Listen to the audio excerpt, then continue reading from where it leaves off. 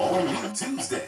I'm known to spit a rhyme off the top of my head. Was that a challenge? A friendly face-off. Can you spit raps? Oh. Yeah, love, me and nothing for me. I'm Rick Smiley. Uh. What are you doing, guys? Or a rap battle to the end. Trying to go against me? You must be blind, can't you see? It's a kid named Eddie, last name Matt. I'll take you, Gary, Rock, and Da Brat. Did somebody ask who won the battle?